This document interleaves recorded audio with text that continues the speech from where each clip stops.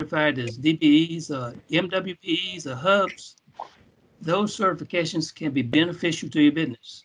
And I urge you to see if you qualify. Here at Go Triangle, we use a lot of certified businesses and we're always looking for more.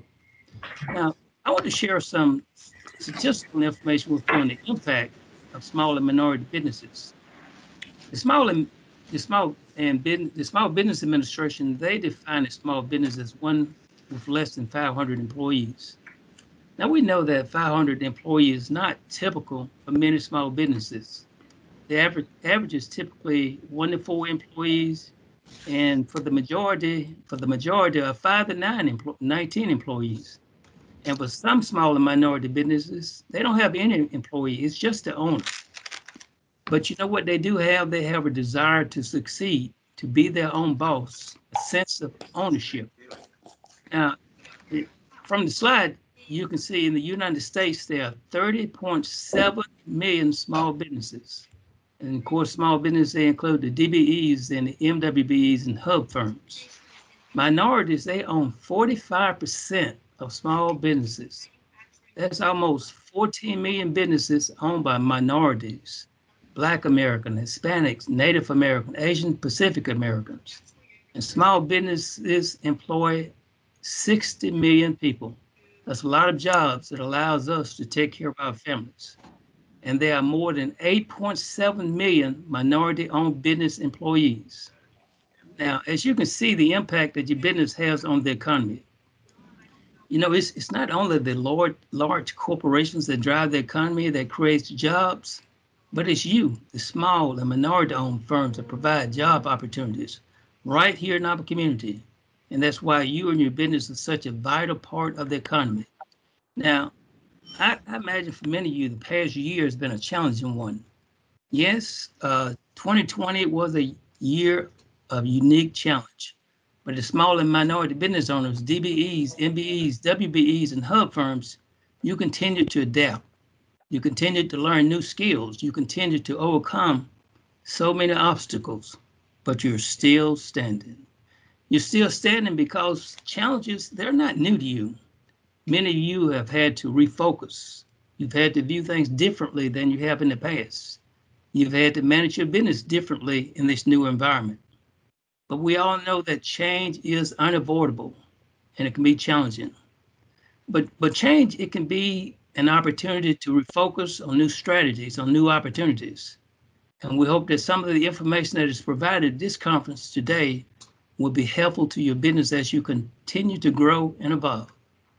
Now, as director of Go Triangle's DBE program, I've had the opportunity to meet and speak with many of you through the years.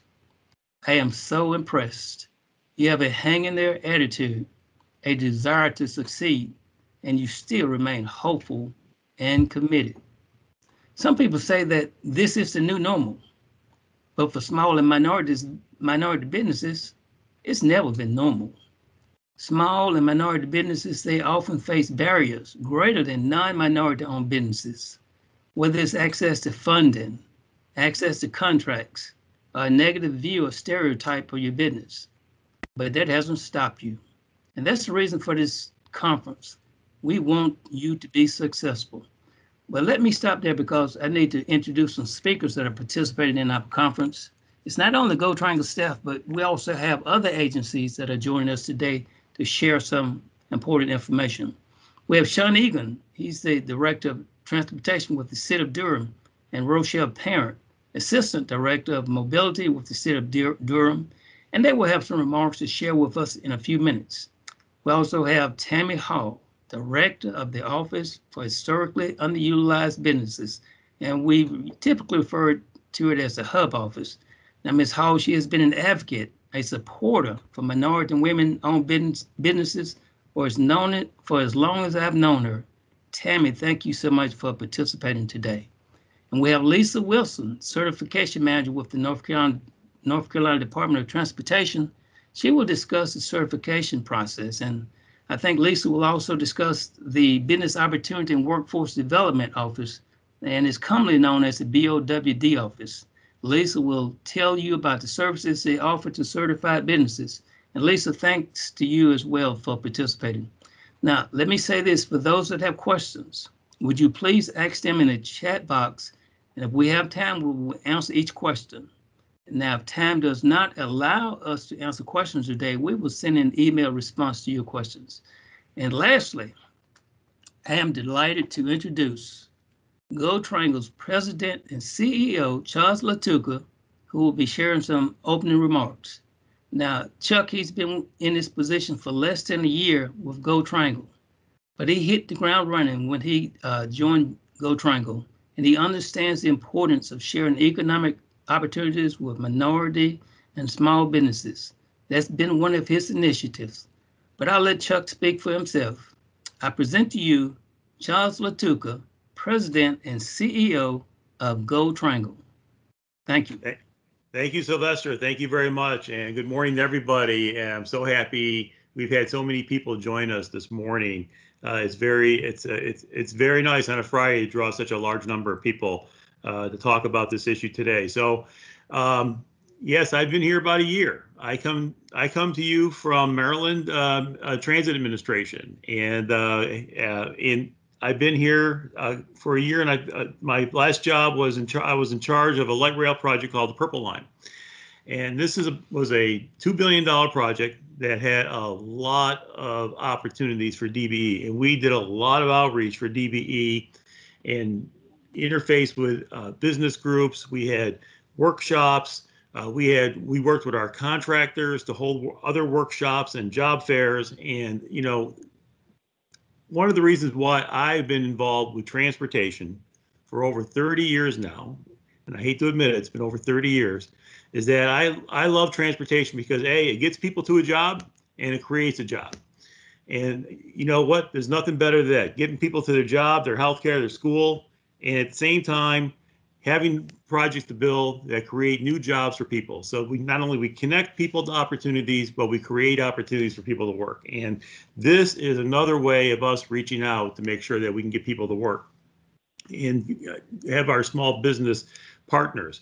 We want to connect with with you folks. We want to build our database and our connections. We are going to up our dbe and minority business goals uh, in our contracts. uh, and Sylvester and, and uh, will tell you more about that.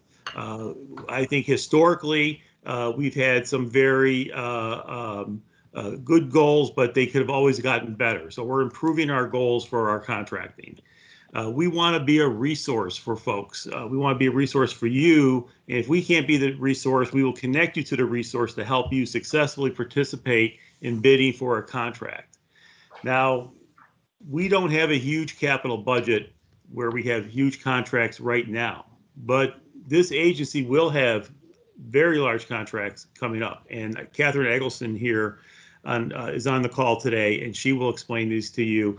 Uh, but we have something called the Raleigh Union Station Bus Transfer Center uh, project that's an over 25, $20 million contract. We have a regional transit center relocation project coming up. That's going to be a $25 million plus contract. And the big one that we're working on right now is a planning study for commuter rail that that could be as much as 1.8 billion dollars to build a commuter rail from connecting hopefully Clayton all the way through Raleigh and Durham. And that'll be a 43 miles of new commuter rail, a new transit alternative to help people get to work and that is going to create a heck of a lot of jobs. So in order to get ready for all these projects and also to be a good business partner to the to the community today, we want to have this conference and make sure that we are talking to everybody we can talk to uh, about the opportunities that exist. We want to find out what folks are are doing out there that uh, specialties that we can use and we want to make sure that, um, um, that we have a very successful program because we know all these projects that I just mentioned to you have strong federal funding components and they will have strong DBE goals. And uh, in order to meet those goals, we have to have the capacity, not only just uh, in setting these goals, but in also getting people informed and, and into the into the work so we can meet those goals. Connect them with the contractors, connect them with the project teams. And that's why we're here today. We have a great bunch of folks here that are going to be, uh, uh, you know, telling you uh, what's coming up, how, and how to and how to plug in. And if you're not a certified DBE uh, on the DOT uh, uh, list, then then they're going to tell you how to do that. So with that, I am going to turn that over to our professionals that will they really know what they're talking about. And uh, I hope everybody enjoys today's conference, and we look forward to meeting you all very soon in the future. Thank you.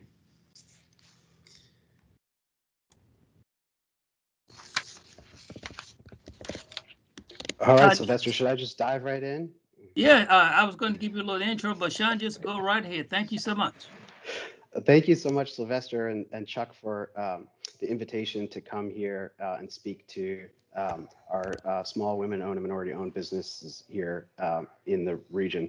This is a really exciting opportunity uh, for us to continue to build partnerships and relationships uh, with this community. I want to talk a little bit about some of the uh, the other uh, City of Durham uh, staff who are joining us today, we, we've brought our A team um, to make sure that we make ourselves available to all the folks here. So we have Deborah Giles, who's our Director of Equity and Inclusion, uh, Eric Miller, uh, who's a Senior Equity and Inclusion Specialist in the Equity and Inclusion Department, uh, Andre Pettigrew, who's the Director of the Office of Economic and Work, Workforce Development, OEWD, Summer Alston, our Senior Economic Development Coordinator at OEWD, and Chris Dickey, who's an Economic Development Coordinator at OEWD. And I want to talk just a little bit about uh, the past year. So we in the city of Durham, we're responsible for the Go Durham uh, bus service uh, and the infrastructure that supports that service. Uh, so we have been working to develop partnerships with Durham County through the Durham County Transit Plan, with the Durham Chapel Hill Carrboro Metropolitan Planning Organization, and with Go Triangle to address the need for bus stop improvements. We have about 800 bus stops uh, that are in need of improvement of more than 900 in the system. And so we've developed a really strategic partnership with Go Triangle uh, to address these bus stop needs. And over the last year, the city of Durham has worked in partnership with Go Triangle to improve 54 Go Durham bus stops uh, at a cost of $1.3 million for six contracts. Now that funding comes from the Durham County Transit Plan uh, that is approved by the Durham County Board of uh, County Commissioners, uh, the, the Durham Chapel Hill Carrboro MPO, uh, and the Go Triangle Board. Uh, and during that last year, that 1.3 million, more than 80% of the value of those six contracts was awarded to hub certified uh, businesses uh, right here in North Carolina. And so we talk a lot about setting goals uh, and uh, we we can set ambitious goals, but I think what we've learned from this experience over the last few years is that we've achieved results where uh, minority and women-owned small businesses have won more than a million dollars worth of contracts, over 80% of the contract value for those 54 bus stops uh, that serve our Go Durham uh, customers uh, and our community was awarded to those uh, hub hub certified businesses. So we're really excited about the success um, that uh, Go Triangle, Sylvester and his team, uh, Rick Major, Catherine, all of our partners at Go Triangle, we're excited about the success um, that they've built. And we really want to learn from the community here. How do we replicate and scale uh, that success that we've seen over the last year with uh, more than a million dollars of contracts awarded to those uh, hub certified businesses. So we think this is a great opportunity to learn from you. And like I said, this is just the beginning. We have hundreds more uh, of these projects coming up uh, that uh, where we want to make all of our bus stops accessible. We want to provide sidewalk and crosswalk connections to all of our bus stops. And then the city has also uh, been awarded funding for major corridor level improvements through the Durham County Transit Plan, for the Fayetteville Street Transit Emphasis Corridor, for the Holloway Street Transit Emphasis Corridor, for the Village Transit Center at Wellons Village. Uh, and we're, we're also working on projects uh, across Durham to improve both service and infrastructure. And we really see the model of uh, these awards where the prime contracts were awarded to uh, hub certified businesses over the last year. We really see that as a model going forward where we can continue uh, to work to uh, prioritize and advance uh, those uh, the businesses that are winning that work, build up their capacity so that they continue to support this really important work that we're doing in the city of Durham to uh, improve transit infrastructure uh, for our transit riders. Uh, so with that, I'm going to hand it off to uh, our Assistant Director, uh, Rochelle Parent.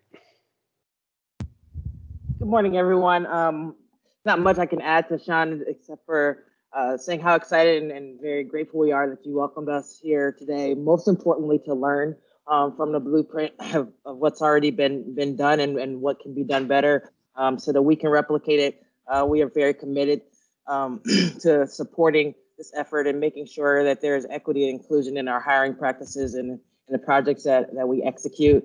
Um, so we thank you all for joining today and for inviting us um, for the opportunity to, to learn um, and look forward to potentially working with you in the future.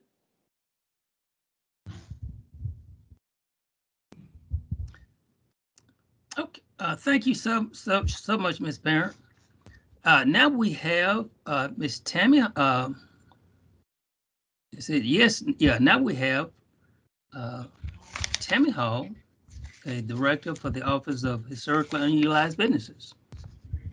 Okay, good morning to everyone. It is a beautiful Friday. I'm actually in Wilmington, North Carolina today uh, to visit with one of our oldest African American uh, news uh, media outlets, the Wilmington Journal. So it is a pleasure to be here in partnership with Go Triangle and certainly NCDOT and the city of Durham. Uh, this is a great time. It's a great time for uh, us to really have some some conversations around how we drive diversity and inclusion in our business practices and particularly the supply chain so that we better um, prepare and, and grow our community. So it's always a pleasure for us to be uh, with you all. And as Sylvester says, I've been here 17 years and I've known him all 17 of those years. And so I do know that there is a commitment to uh, diversity and inclusion from a business practice. I've had the opportunity to talk to Chuck as well and had some great conversations around uh, things that we could do to collaborate, and this is one of them. And so it's uh, a pleasure to see so many of you, as was said earlier, on um, this webinar today. So when we talk about hub certification, and many of you that are with us are hub certified, if not, you are missing out being a part of a great family. And so if you are not Hub certified, I certainly would ask that you Google North Carolina Hub Office, HUB office. We get confused with HUD, but we are not HUD. We are Hub, HUB, Hub Office, historically underutilized businesses. Our process is fairly simple. 51% owned and operated, involved in the day-to-day operations of the business and in one of our minority categories. And one of the beauties of today is we already have reciprocity with NCDOT. So if you are NCDOT DBE certified, you automatically qualify for hub certification. So we asked you to go through that channel first, and you'll hear from our colleagues. I think Lisa Wilson is on after me or shortly after me and she will give you the DBE certification process. So if you meet those criteria, the criteria that she will indicate to you, you certainly do qualify for HUB certification. But let me tell you, we are very um, strict around who is HUB certified because we want to maintain the integrity of the database. We really are stringent on whether or not you meet the categories. And um, if you meet those categories, then certainly we would like for you to pursue government work, state government work. If you heard the governor release his budget earlier this week, there is the possibility of a $4 billion bond referendum for infrastructure and capital projects. That's a lot of work. The last bond referendum, and Sylvester, you may remember, it was over a decade ago. We did a $3 billion bond referendum for higher education which really was the blossom of minority and women owned business programs throughout the state of North Carolina. So certainly uh, there is lots of work going on, whether we have a bond referendum or not. There is a lot of work going on in state government and in our federal spaces. So um, I would just ask that, you know, consider the certification processes. They are free. We do not charge, they're absolutely free. Hub certification lasts for four years and you renew. And then you go into a public database, and even private sector has access to your business along with state government. So uh, without further ado, Sylvester, I know you've got lots for everybody to learn. It is a pleasure to be with you. I know that our office is on, so if there are any questions, put them in the chat. We're more than happy to respond. If not, you guys have a great day and enjoy your weekend. Thank you, Sylvester. Thank you, Tammy, and safe travel to you. That's a lot of great news coming from your office. Thank you, sir. Uh, next, we will have uh, Lisa Wilson. She is the certification manager with the North Carolina Department of Transportation. Uh, so she's in charge of all those certifications. So uh, Lisa, uh, we're going to turn it over to you. Okay, great. Um, good morning, everyone. Nice to see everyone. Um, I'm going to get my first shot today as well. So we're getting going in the right direction. I'm going to share my screen with you and show you a PowerPoint. So if you'll be patient with me just one second, I'll get that up.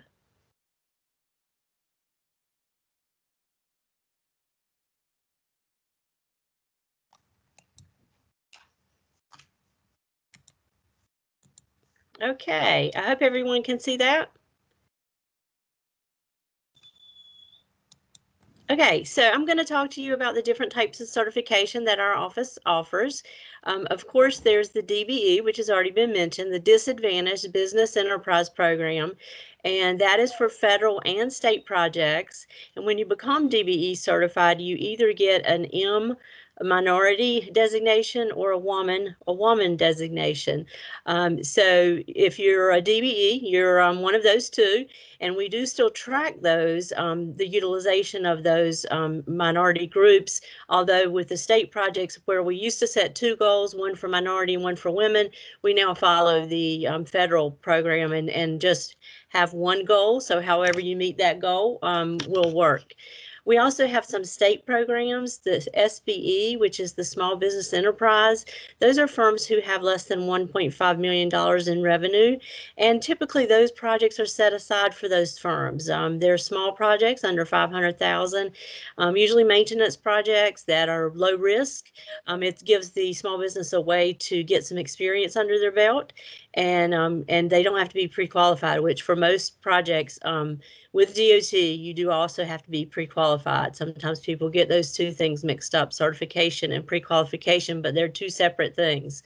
Um, we also have the small professional service firms. That's for our small firms who are engaged in technical uh, work. So pre-construction, consulting, engineering, architecture, GIS, that kind of thing. And then Tammy has already mentioned the hub um, certification, and we do like to mention that as well when we are um, spreading the word about our certifications.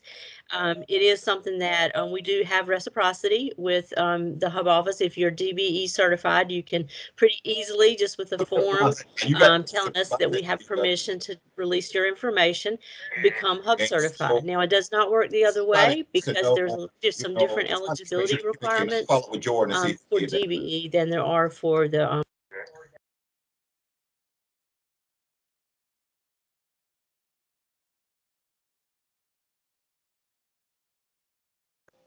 Lisa, you're muted.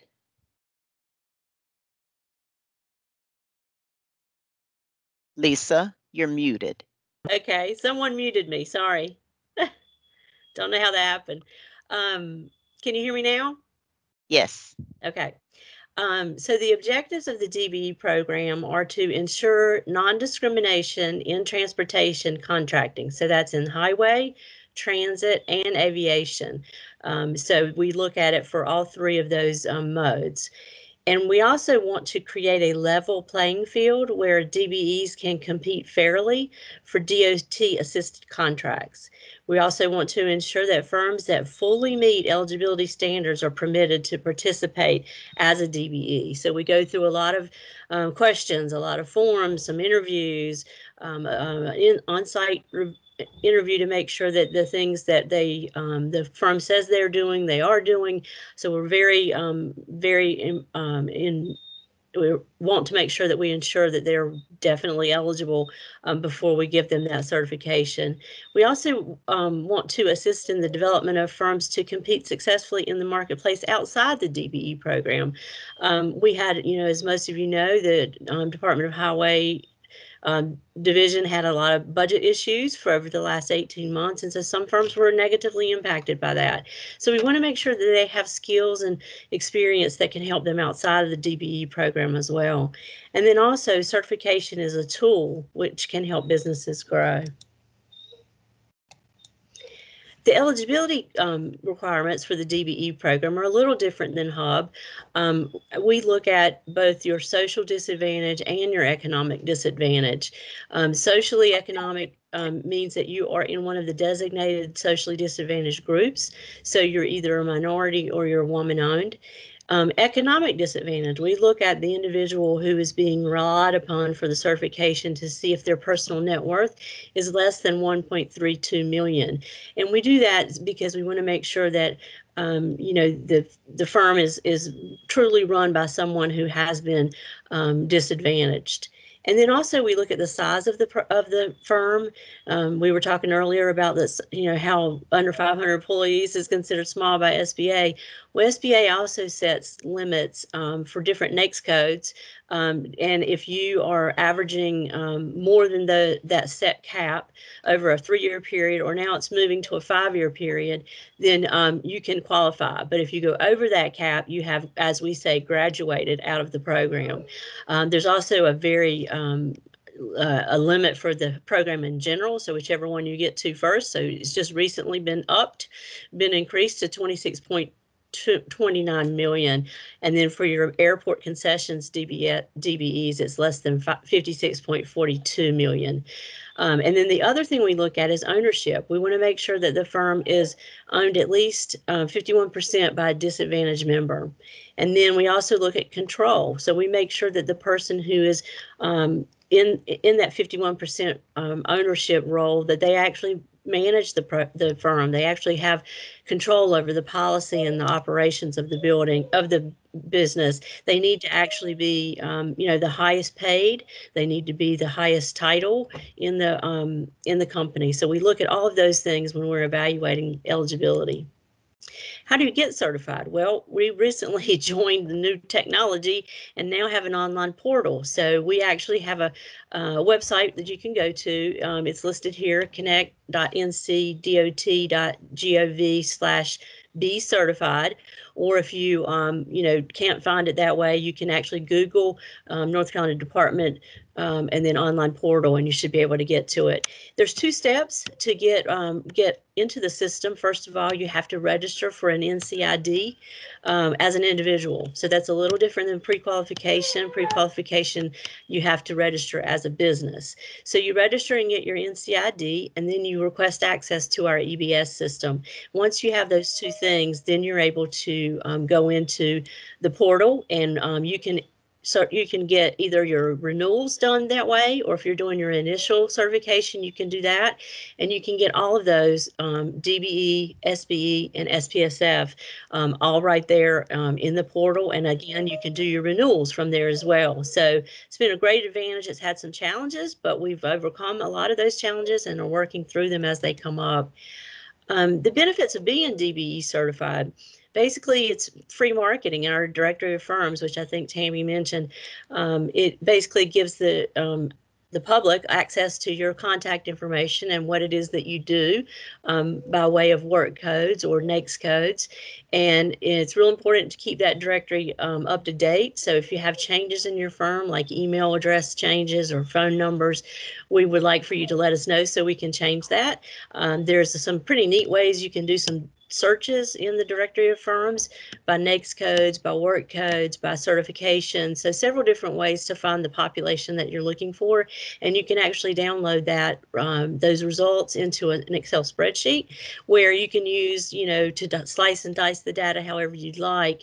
And you can also, you know, use it as um, get the email addresses from there and, and have an automatic mailing list.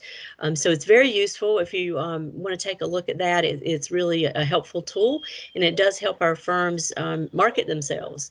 And then also you have contract protection uh, as a DBE because we actually have a utilization um, and um, a utilization department that actually goes out onto the projects and makes sure that there's no discrimination occurring. And also our contracts are written in such a way um, that does not allow discrimination. So you have that contract protection. Um, it also, obviously, the big way is that you're helping prime contractors meet their goals that have been set on the projects. And so that is um, one of the most, the, the things that makes you look most attractive um, and to prime contractors who are looking for subcontractors. And then we already mentioned hub reciprocity, which is a great benefit. And then VALD services, um, Sylvester mentioned earlier, um, we have, because we have a DBE program, Federal Highway also ends up giving us money to help um, support those businesses. So we have money where we can do training, we can provide uh, certain things that um, a firm might need to be successful. For example, membership into a networking group or an industry um, uh, industry association. Um, we can also help with if you need um, some accounting software. Um, as long as our budget is allowing those types of things, um, there is a limit on how much each firm can get. Um, but most of our programs are free to the DBEs. We have um, a, an a good partnership with NCSU where we offer several different classes. Um, one is just construction, and then the other is their ITRE program, if you're familiar with that, um, where they have a lot of different um, classes that you can take as a DBE and we can reimburse you. So um, a lot of good things that are available in the VALD unit. Um, so we can talk more about that if you'd like, but just wanted to let you know that that does exist and it exists there to help make um, all the DBEs um, as successful as possible. And that's all I have. Unless someone, someone has some questions they want to put in the chat, I'll be happy to um, to answer those if if I can. Uh, uh, Lisa, what we're going to do, uh, we are going to try to come back to the questions later on because of the time constraints. And uh, I'll Okay. probably forward and use some of the questions so that we can make sure we get them answered. But that's a lot of great information. So you go on- online now with the, uh, to apply for certification. That's excellent. Yes, sir.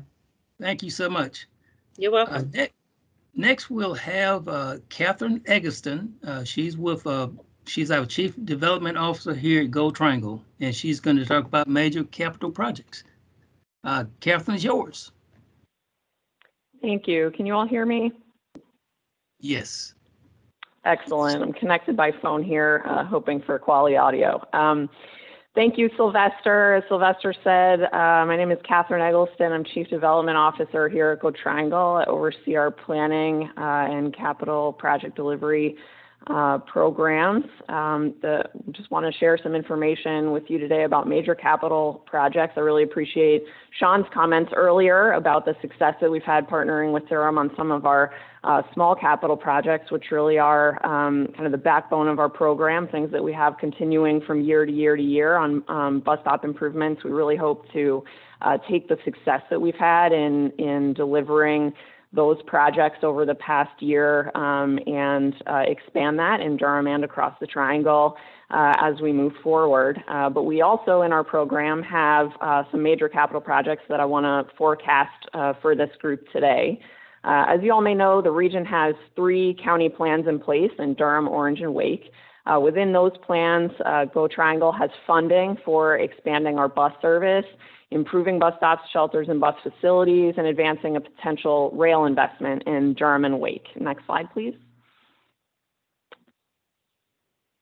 Uh, Go Triangle, in partnership with Durham, Wake, and Johnston counties, our two MPOs, NCDOT and the North Carolina Railroad Company, are currently proceeding with pre-planning efforts for the rail service that's included in the Durham and Wake plans.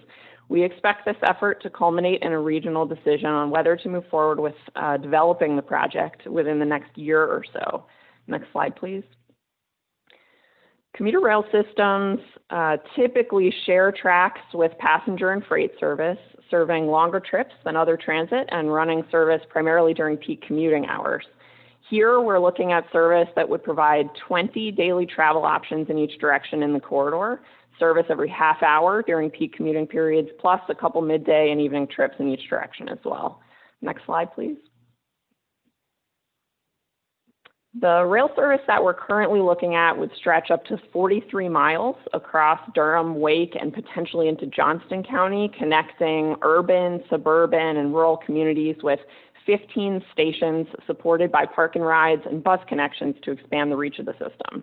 The rail service would complement existing intercity and interstate passenger rail in the corridor, as well as tie into potential future service on the Southeast High Speed Rail Corridor that's being studied and advanced by NCDOT. Next slide. In order to add significant passenger service in the triangle within the existing North Carolina Railroad Company owned corridor that stretches east and west through the whole state, additional rail infrastructure would be required. New tracks, bridges, signals, in addition to station platforms, park and rides, and support facilities.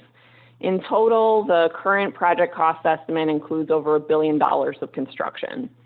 Next slide, please. The rail service would connect seven of the 10 largest employment hubs in the triangle, amounting to more than 100,000 jobs today, a number that will only grow in the future as more than 600,000 jobs are added to the region over the next 20 years. Almost two thirds of that growth is projected to occur in Wake County. So cross county transportation options will become even future to the success of individual communities and the region as a whole. From earlier studies, we know that the project would be projected to carry more than 10,000 transit trips a day, adding a critical mobility option to the region's most congested highway corridors. Next slide, please. Our current planning study efforts are focused in three areas. First, evaluating key project risks, in particular those related to building and operating in an existing rail corridor. Second, evaluating opportunities such as economic development and job access associated with the project. And third, focusing on public engagement across the whole project area. Next slide, please. The work that we're doing now is all intended to support a regional decision on whether and when to move forward with this project into a development and delivery process that will likely take much of the next decade to complete. It will be a significant undertaking for the region, and so broad-based local support across the region is critical to its success. Next slide, please. I also want to share a bit about two of our big bus facility projects that we have in our capital program. Uh, Go Triangle operates regional bus service in uh, much of the same corridor as the rail today. Prior to the pandemic, we were carrying nearly 7,000 daily trips triangle wide. Our busiest bus boarding location for regional service is the Regional Transit Center, which currently located in the Imperial Center, uh, just outside of RTP, in a location that was originally envisioned to be temporary. We're working on a feasibility study now to identify a suitable permanent location and hope to proceed to design and construction um, on that new facility in the next few years. Um, next slide. Our current transfer center serves about uh, 100, or excuse me, 1,000 boardings a day uh, before the pandemic, uh, primarily transfers between regional routes as well as some park and ride and walk up access to the surrounding office and light industrial area. We're looking for a new home for the facility to en enhance safety, functionality for users, uh, improve direct access and connections to surrounding land uses, and streamline bus speed and reliability for routes coming to and from the facility from the freeway network. On the next slide, please. We haven't yet determined our contracting strategy for this project, but we'll be considering options as we move forward. Uh, our next key steps on this one are to finalize selection of a preferred location and to pursue grant funding to move the project uh, into design and construction. On the next slide, please.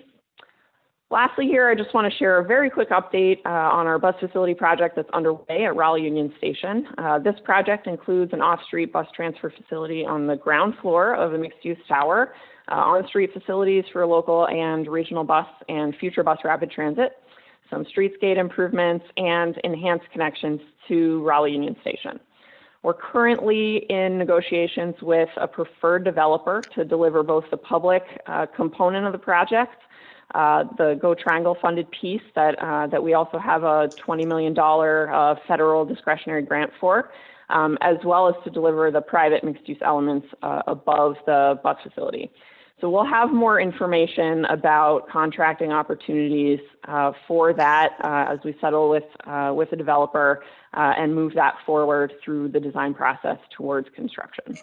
So at this point, I'll pass the mic back to Sylvester uh, to continue our, our program uh, with some other updates from Go Triangle staff. Thank you so much, Catherine.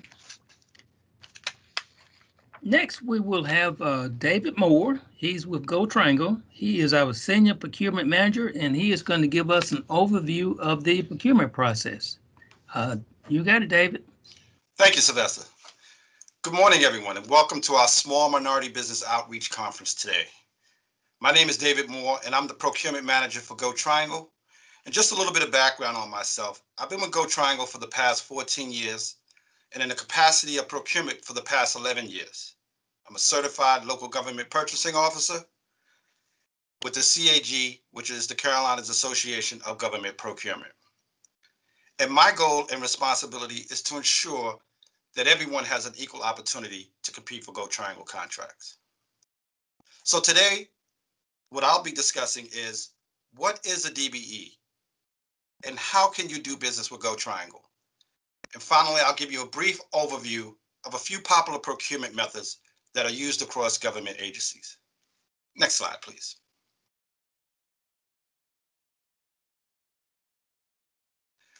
So you, when you hear the term DBE and DBE goals, what are we talking about here?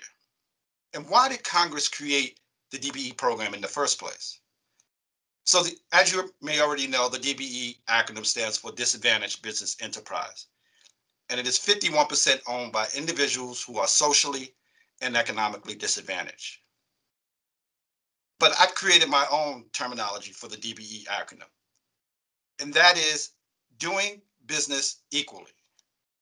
Because that's what the DBE program is all about affording women, minority, small businesses the equal opportunity to compete for Go Triangle contracts.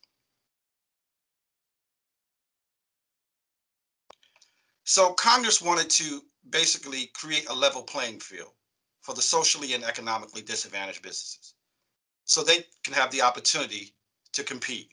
And since 1983, the DOT has established a single DBE goal of 10% for women and minority groups. Next slide, please. So we all understand that success doesn't happen overnight and that it can take years of hard work for companies to become self-sufficient and even make a profit. And for small businesses, finding a way to compete for larger contracts can be challenging. But this is where Go Triangle comes in. We create these outreach events to not only convey information, but most importantly, to create connections and partnerships with small and minority owned businesses that may not have the resources to compete for larger contracts. But these same small minority businesses may have the resources to team up with a prime contractor and to attain smaller contracts. And at the same time, have the opportunity to learn from these big businesses. So you see, partnerships with small businesses and big businesses can foster this growth. And so instead of looking at it as big businesses versus small business, Let's try to look at it as big business and small business. I think the latter is inclusive for everyone. Next slide, please. So how do you do business with Go Triangle? Well, the starting point would, would be to register as a vendor on our website at gotriangle.org slash procurements hyphen opportunities. Once you have completed the registration process, we have your information your contact information in our database. So when opportunities come up, Go Triangle can notify you. And you will notice in the registration a field called vendor trade. Please make sure that you include your trade of work or your category to ensure that you are notified when we have a particular procurement in your trade of work. And examples of this would be electrician, plumber, architect, engineer. This is the beginning point of doing business with Go Triangle. In addition, you can attend some of our pre-proposals meetings and team up with prime contractors. And you can check our website periodically for procurement opportunities that have been released. Next slide, please. So one of the main objectives of Go Triangle in the procurement process is to have free and open competition. We are very conscious about our solicitations to ensure that fair practices are implemented. We do not place unfair requirements on vendors, and we ensure that if we list a brand name for a particular product, we allow the opportunity for a vendor to offer a comparable or equal product. Next slide, please. These are some of the practices that Go Triangle follows to ensure fairness and integrity in the procurement process. We advertise our solicitations to the widest public audience to foster free and open competition. And this includes advertising our formal solicitations in the newspapers, we post them on our website, and we create a bidders list from our database to notify vendors and contractors about any new solicitations. In addition, when we develop solicitations, we ensure that they are clear and non-restricted so that everyone can bid and submit a proposal. And we allow adequate time for vendors and suppliers to submit a proposal or bid. In addition, we also ensure that there is transparency in opening and evaluating bids, and we make certain that the entire process is documented. Because as you know, our records are subject to the public records request also known as the Freedom of Information Act. Next slide, please. So in my next segment, I want to give you just a brief overview of the procurement types or categories. So the first category type is purchasing, which is described by the North Carolina General Statute as apparatus, supplies, materials, and equipment. These include everything from furniture to office supplies, computers, cell phones, maintenance equipment, and even vehicles. The second category type is construction and repair. And this category is for construction, repair and renovations on buildings such as vertical structures. In addition, there are non-vertical structures such as paving projects and utility lines that fall into this category. The third type is design services, also called professional services. These services fall under the Brooks Act, which is a federal law, and the Mini-Brooks Act, which is a state law. These are professional services such as architectural work and engineering work. The fourth and final category type is the everything else category. If the procurement doesn't fall into one of the three categories mentioned, then it's in the everything else category. And these include everything from janitorial services, uh, garbage collections, and legal services. Next slide, please. So next, I want to briefly cover the three popular procurement methods used across government agencies. Request for proposals, invitation for bids, and request for qualifications. Next slide, please. So the first procurement method is request for proposal, also known as competitive proposal. These are for the services that fall into the everything else category that is not subject to the Brooks Act. This method must be conducted with more than one source submitting an offer or competitive proposal. The solicitation will award a fixed cost and a cost reimbursement type contract and is generally used when conditions are not appropriate for a sealed bid. And we'll talk about that in a little bit. Next slide, please. So some of the components of the comp competitive proposal are they must be solicited from an adequate number of people, minimum two. They also must be publicized and identify all evaluation factors and their relative importance. Any responses to public, publicized RFPs must be considered to the maximum extent practical. And Go Triangle must have a written method for technical evaluations of the proposals received and for selecting recipients and contracts must be awarded to the responsive, responsible vendor whose proposal is most advantageous to Go Triangle, with price and other factors considered. Now, let me add that to be responsive in a bid or proposal is one that meets and conforms to the requirements established in the solicitation. And to be responsible relates to the issue of performance by the contractor in terms of having the skills, experience, financial resources, and even the integrity necessary to complete the requirements of the contract. Next slide, please. So a continuation of the components of the RFP are that proposals must be sealed and must be received on time. I cannot stress enough that please allow yourself enough time for your bid or proposal to arrive at Go Triangle. We cannot be responsible for a courier that has not delivered your bid. By law, we must reject all late bids as non-responsive. So please keep that in mind. So the proposals are divided into two parts, technical, which is the response to the scope of work, and price, what it would cost to complete the work. There is not a public bid opening, and evaluations are based on the technical response according to the evaluation criteria and scoring as established in the solicitation. And Go Triangle will negotiate with the top respondents, meaning we are referring to a short list of at least two to three top respondents. And we may even have them come in to present to the evaluation committee uh, prior to finalizing an award. Next slide, please. So next, we'll talk a little bit about the invitation for bid or competitive seal bidding. So what are the elements of a competitive seal bidding? The answer is quite simple. Competitive seal bidding is a procurement method that contains a complete, realistic specifications of products and services and have two or more responsible bidders willing to respond. And in the case of construction in the formal range, you must have three responders and a firm fixed price contract is awarded.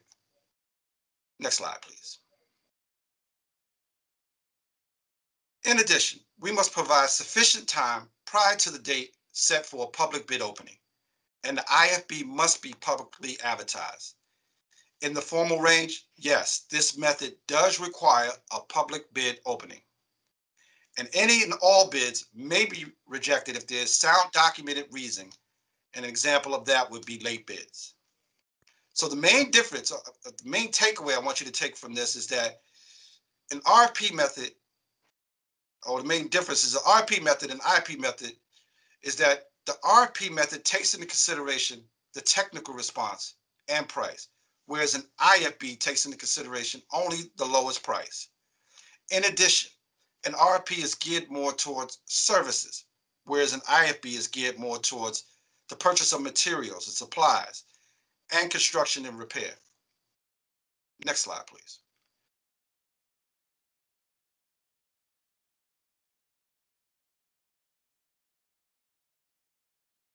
And the last procurement method, the request for qualifications or the Brooks Act.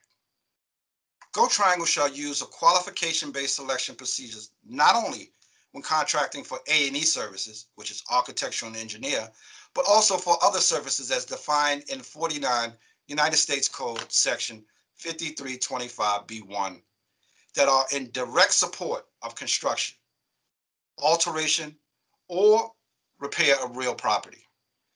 And all engineering and design and related services are and include program management, construction management, feasibility studies, preliminary engineering, design engineering, surveying, mapping, and other related services, just to name a few.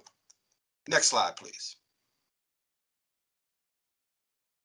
So the Brooks Act required that an offeror's qualifications are evaluated and that price must be excluded as an evaluation factor, and that negotiations must be conducted with the most qualified firm. And if we cannot reach an agreement on price with the most qualified firm, then we must proceed with the next most qualified firm. But keep in mind that once negotiations is ceased with the most qualified firm, and we proceed to number two to negotiate, we cannot return to negotiate with the number one firm. They can no longer be considered. And we will continue this process until a fair and reasonable price is reached. Next slide, please. And finally, I'll leave you with a picture of the most awkward three-way handshake ever. This is President Obama, US, Justin Trudeau, Prime Minister of Canada, and Enrique Peña Nieto, former president of Mexico. I think this is a great illustration of how we can have a win, win, win situation. The message I get from this picture is that also, although this handshake is very awkward, it is an excellent demonstration that partnerships can be formed and all parties can win. The small, the women, minority owned businesses can partner with the big businesses, and Go Triangle can meet their DBE goals in what I call a win win win situation. Everyone wins. And I know I can speak on behalf of the CEO and the Board of Trustees when I say that we are committed to an all inclusive procurement practice, creating a level playing field for the women, small minority businesses to be awarded Go Triangle contracts. So that will do it for me. I want to thank you for attending our small minority business outreach today.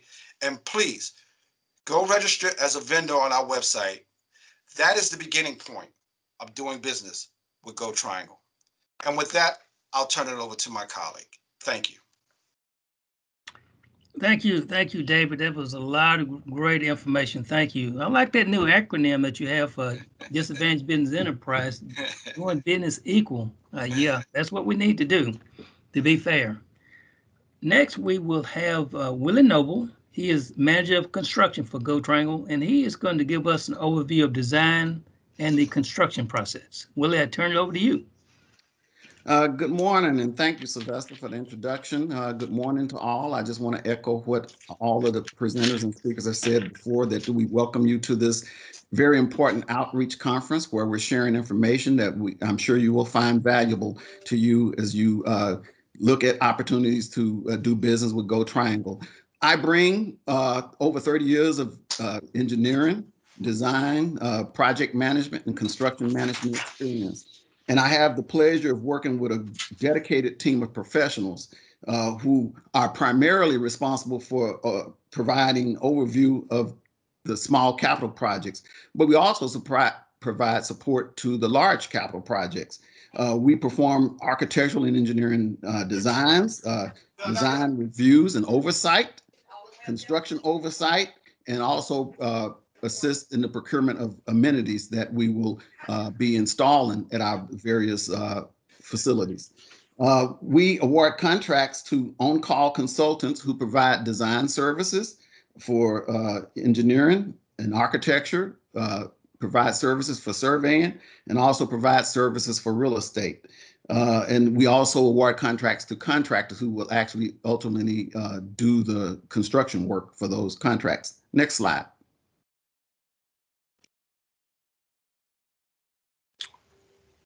Just wanted to talk about my agenda uh, briefly. Uh, I will discuss the process overview, uh, give you a progress update on our bus stops, uh, talk about the design and engineering process, the construction process, and then lastly, do next steps. This picture on this slide here is just one example of a bus stop that we've recently completed.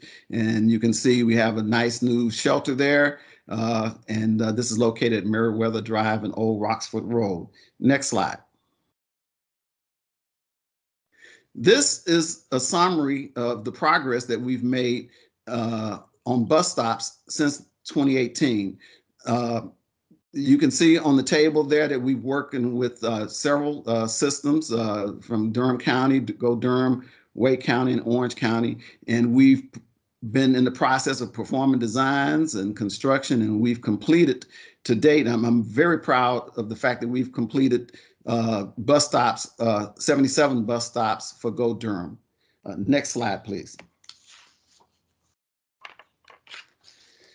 These slides show some of the amenities, and, and, and by amenities, I mean furnishings that we uh, provide at uh, our bus stops.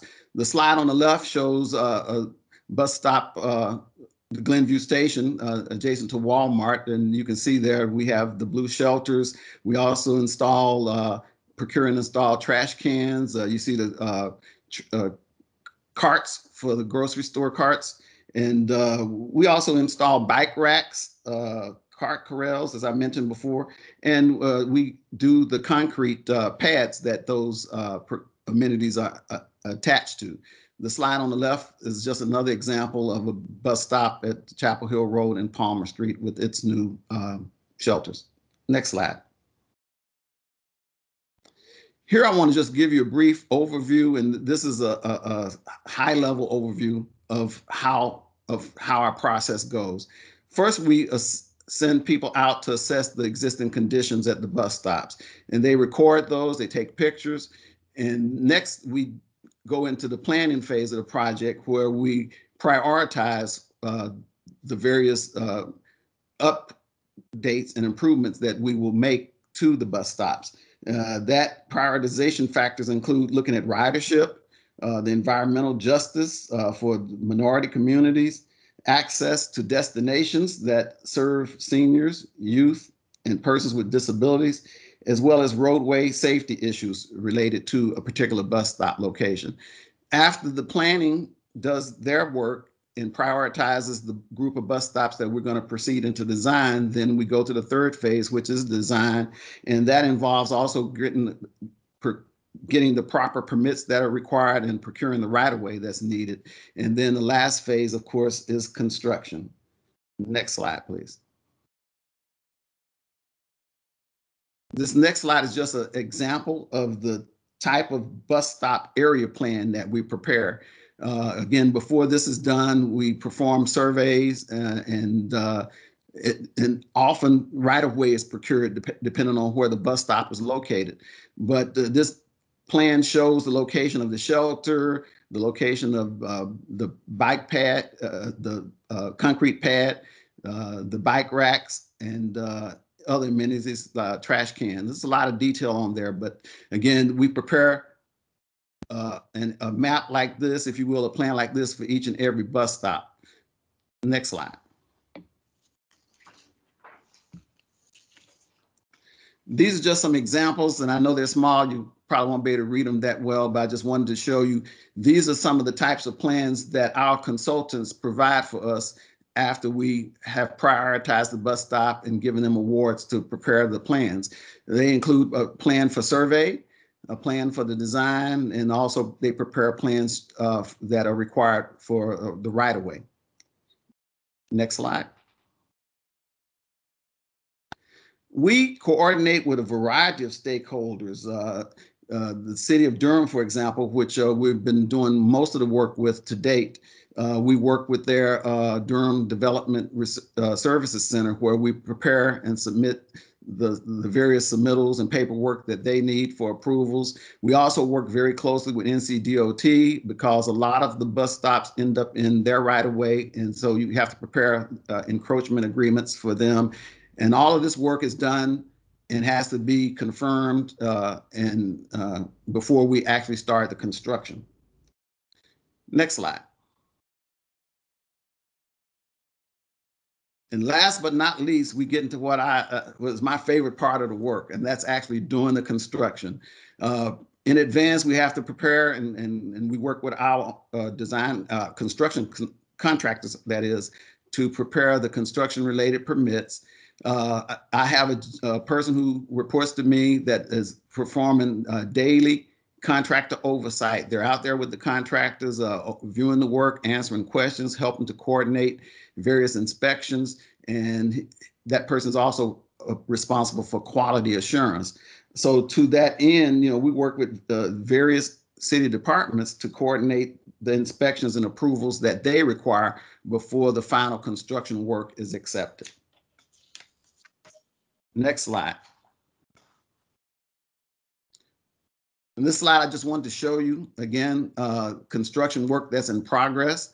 Uh, our contractors place concrete uh, for the bus pads, uh, the landing areas. Uh, we also connect to nearby sidewalks uh, and, and, may even repair sidewalks and roadway areas within the immediate footprint of the bus stop. And then after the concrete work is done and cured, then we our contractors install the various amenities that you see on the picture on the left-hand side of the page. Next slide.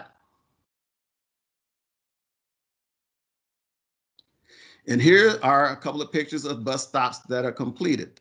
Uh, the one on the left is actually a park and ride. We also do park and rides, uh, not just bus stops. Uh, we worked and partnered with Wake Tech Community College to place a park and ride at their southern campus. And uh, you see that in its completed state with a nice uh, shelter and uh, bench and uh, trash can. And on the right-hand side of the page is a bus stop uh, located at Henson Drive and Waring Street with its nice furnishings. And uh, you can go to the next slide. So in brief, these are the I items that are coming next on our radar screen. We're working uh, on the uh, FY22 transit work plans with the three counties. We're going to continue to perform optimization of our bus stops. Uh, we also are working diligently on updating our standard technical details that we uh, give to our design consultants to give them guidance in terms of what we expect and what our uh, desires are for the, the design of the bus stops. We're working on various interlocal agreements that have to be uh, uh, in place with our various municipal partners. And, uh, we will continue that coordination with the various city departments and the counties, as well as ND, NCDOT and other stakeholders.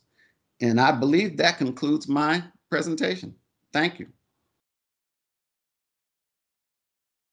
Thank you so much, uh, Willie. Um, that's a lot of good information as well. Next, we will have Jordan Heron. She will. She is our project control support specialist, and she is going to give an overview of eBuilder. Thank you. Uh, good morning, everyone. My name is Jordan Heron, and I also serve as Go, Tri- Go Triangle's eBuilder administrator. I'm going to talk to you about eBuilder today and give you a brief little overview. So, what is eBuilder? eBuilder is a construction program management software, and it is used to track the progression of a project to completion.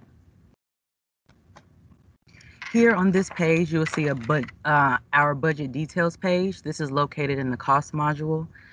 At the very top, we have a cost, a quick cost summary. There we have the current budget, current commitments. When we refer to commitments, we're talking about contracts and purchase orders.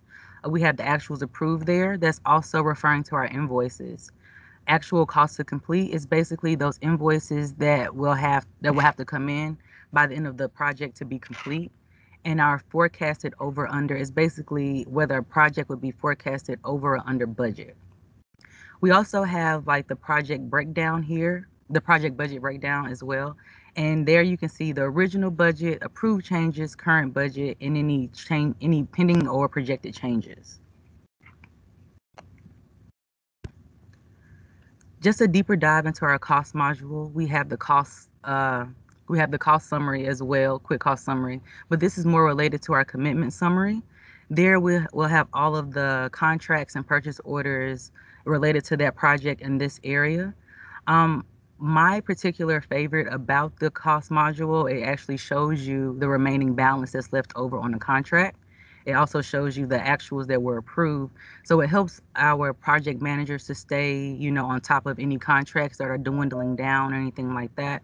Um, it also gives them an idea if they need to go back and, you know, do a, a contract uh, amendment so that we'll have uh, more funds to complete the project. Um, this page here is the actual cost page. At the very top, we have the actual cost summary. There we have, you know, cost related information to the project. We also have a breakdown of every invoice that comes in. As you can see there, we have the invoice number, the description, and any contract that it's related to. Um, it also shows whether if the invoice was paid or approved, and also the invoice amount. Um, this is basically a list of some of the processes that we have available in eBuilder. Um, I just wanted to show you guys a list of them. Um, as you can see at the in the right hand corner, there is a create new process button. There we are, um, we have the ability to create any new processes that the project team or our consultants or contractors see fit. Um, I can typically go in and create any type of process that you feel that needs to be there. Of course, with the PM uh, approval, of course. this is a deeper dive into the process module. This is the change notice workflow. As you can see here, um, it starts with our project engineer. Once that information is submitted, it goes to the contractor for his or her review. If there's an issue with this piece, um, the contractor can send it back to the project engineer so that he can he or she can uh, address that issue. Once everything is reviewed and approved, a change notice record is created, and that's the base. That's basically the end of the process. Um, once the process is basically over, a document is created and is stored in, within the document module. Um, we also have a forms module. Um, basically, uh, just like the process module, we have the ability to create any type of form that we see fit in the system. Um, this is an example of one of the forms that our project managers and contractors and consultants fill out on a weekly basis. It's basically just a project update. So they'll get into the system, they'll um, input all of the required information. They also have the ability to attach any videos, documents, and photos to the uh, form and all of that information will then be forwarded and routed to the project manager. Um, they also have the ability to copy someone on that report as well. So if you wanted to include another person on that uh, report, you can just find their role and uh, make sure you copy them in. Um, as stated before, with the document module, this is basically where all our documents are housed. Um, when a process or a form is created and processed all the way through, it is then stored in this area. Um, just for an example, this is um, our folder for our contractor submittals and their weekly reports are placed in this area. So you don't have to worry about um, saving copies or anything like that. We just make sure that we have all of this information in one area. And um, as stated before, I am the eBuilder administrator. Um, if you guys have any questions, you know, feel free to ask. Um, as far as any training, once the contract and everything is uh, everything is finalized and you have a notice to proceed after our con- construction uh, pre-construction meeting, we'll uh, get together and we'll go through eBuilder piece by piece, and I'll provide any help that you may need, also to your team as well. And I believe that's all I have, Sylvester. So I'm going to move on and pass it to my colleague. Okay, Jordan, thank you so much for that overview.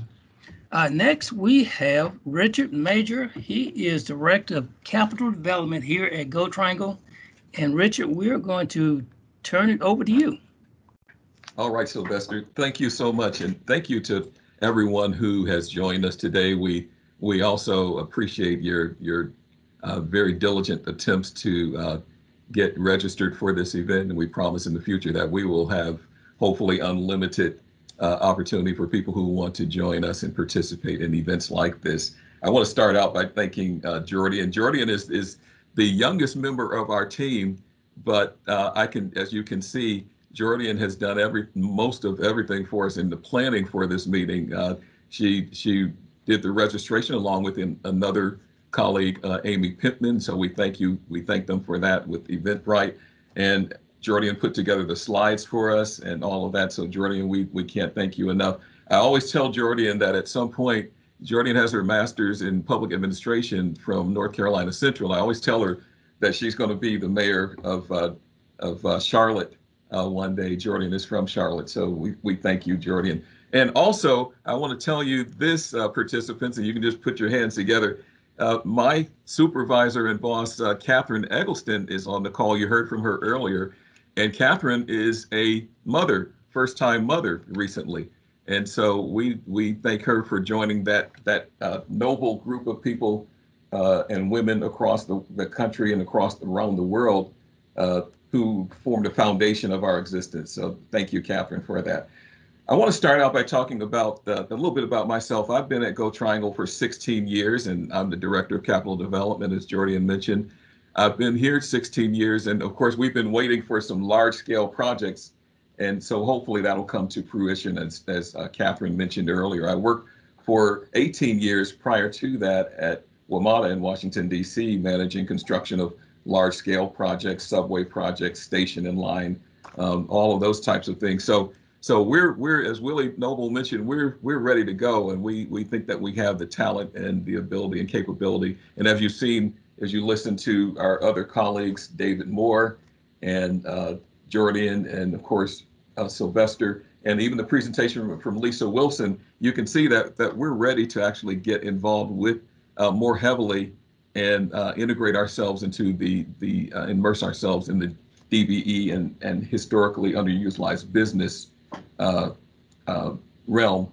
Uh, we also want to thank Chuck Lattuca, Tammy Hall, of course, and Sean Egan and Rochelle Parent for participating. We always want to give you, uh, we think that life is a holistic existence. So we give you the forensic information about how many projects and the number of bus stops and shelters and what we plan for the future.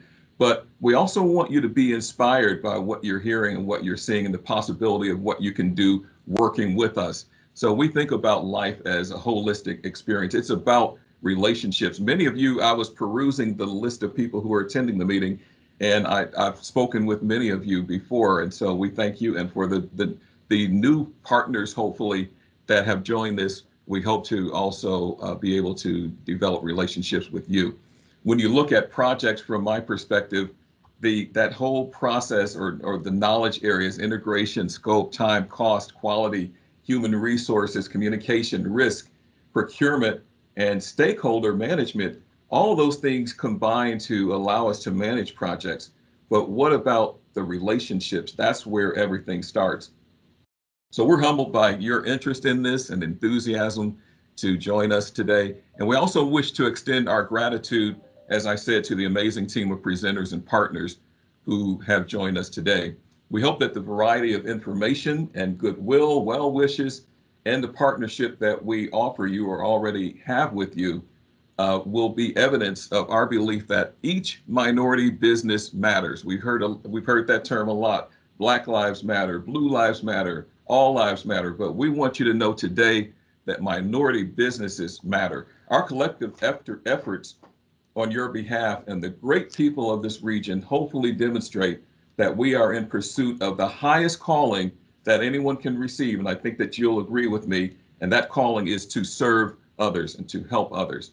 So, how do we accomplish that? And how does our answer to this noble call translate into effective service on your part? Well, one way is for us to be authentic, to be, as a friend of mine coined, a representative practitioners of our beliefs our values, our mission, and our vision. In 1893, the state of North Carolina adopted a motto that hopefully inspires all of us.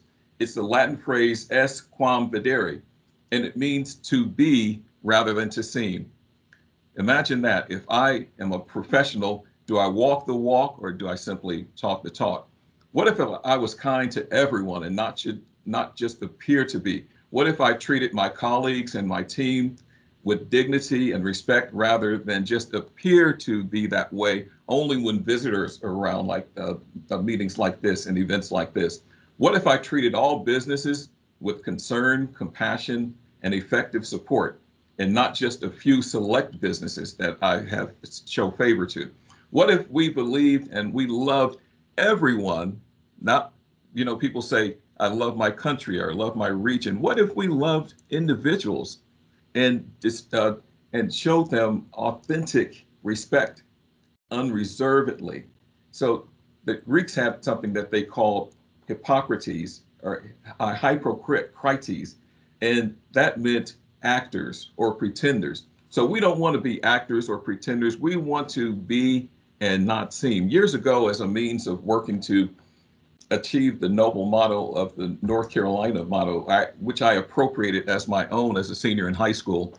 I wrote a poem called There Is. I love poetry. And so the third verse of that poem says, There is a love whose dimensions enlarge exponentially by sharing it with others.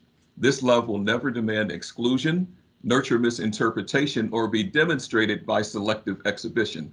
The tie that binds this love is not cemented into superficial placidness of those who by benevolence more reluctant than inspired or contrived than sincere, feign peaceful coexistence with others they simply tolerate. This love is exemplified by a life of self sacrifice and the hand that is lifted to assist the less fortunate. Imagine if we lifted our hands to assist the less fortunate whenever we see them. What would that look like? So I'll close with a short story about a little girl who was walking along the beach one day. You all know the story, but it bears repeating. And there had been a horrific storm the night before. So all of these starfish were washed up on, on upon the beach. And the young lady was the young girl was running back and forth and she was picking up thousands. There were thousands there. She was picking up one at a time taking them over and tossing them back into the ocean. Well, there were some people standing nearby, and one of the gentlemen who was watching her thought that it was a, an exercise in futility. So he walked over and he said, "Young lady," he said, "Why are you doing that?" He said, "Look at the beach. There's miles of of uh, of of starfish who are strewn back up on the beach." He said, "Do you really think that what you're doing is going to make a difference?" So the young lady, undaunted, picked up a starfish took it back over to the ocean and tossed tossed it back in and then she walked all over back over to the man and she mentioned to him she said she said what i'm doing made a difference to that one. And so that's what we're here to do today is if we can make a difference in the life of just one firm just one minority business owner just one person who has attended this meeting today then we will feel like we have made our objective and we will celebrate so we want you to understand that each of you matter, not just everyone, not just all. That's that's too broad. We want you to know that each of you matter and that the success of your business is vital to the prosperity of this region. And if we can, if we've made a difference to just one attendee, we'll celebrate. And we will continue this honorable and gallant pursuit of helping you to achieve your respective hopes and dreams, missions, and visions. So until I see you again, until we meet again, peace be with you. I'll turn it back over to Sylvester. Uh, thank you so much, Richard. Uh, first, let me let me thank you again for attending everyone our small and minority business conference. Um, it's been a pleasure to share with you today. Uh, want to thank our guest speakers. We couldn't have done it without you. You did a fantastic job. And also to my Go Triangle team, thank you for the information that you shared today for those go, for those Go Triangle employee uh, employees that work behind the scenes on this event. Thank you as well. We hope to have another uh, outreach event later in the fall to update you on projects and opportunities. And we hope that this event has been beneficial to you and your business. And perhaps, perhaps in the next outreach, we'll be able to meet you in person. Let's keep our fingers crossed. Uh, for those that have left questions in the uh, in the chat box, we see that uh, the hub office has responded to some of the questions related to their office, and we even see Deborah Giles with the city of, of, of Durham. She has answered questions on certifications, and there have been so many questions about the NCDOT certification.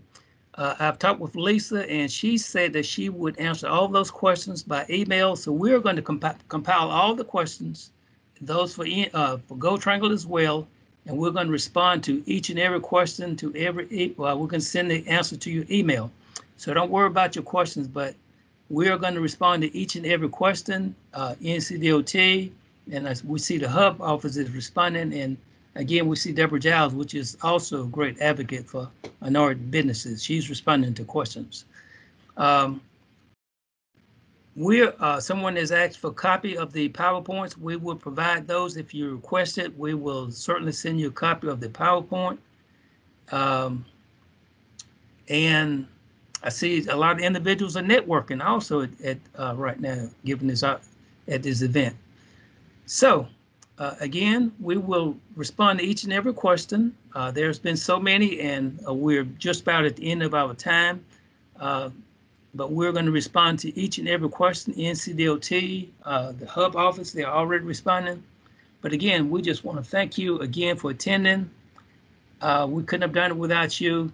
And thank you so much. And we hope to see you very soon at another outreach event. And don't uh, don't hesitate to reach reach out to us if you have any questions uh, in the meantime. Thank you so much. And we thank you again.